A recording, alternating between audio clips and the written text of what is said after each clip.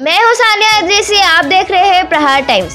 मुंबई में एक शादीशुदा महिला ने अपने प्रेमी के साथ मिलकर पति को मौत के घाट उतार दिया। आरोपी महिला का नाम कविता है, जिसने पति कमलकंद शाह के खाने में जहर मिलाकर उसकी हत्या कर दी।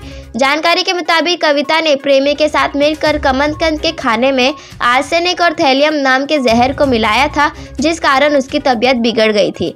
घटना तीन सितंबर की है, जब कविता ने पति को जहर दिया था।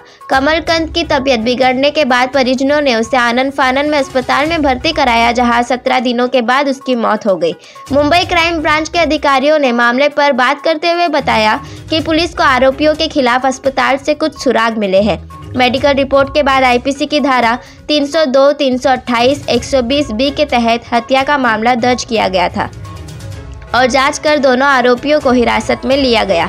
पुलिस ने कविता और उसके प्रेमी को गिरफ़्तार कर ये पता लगाया कि काफ़ी सालों से दोनों का अफेयर चल रहा था और कविता के दो बच्चे भी हैं। अब पुलिस इस मामले में जाँच में जुटी हुई है।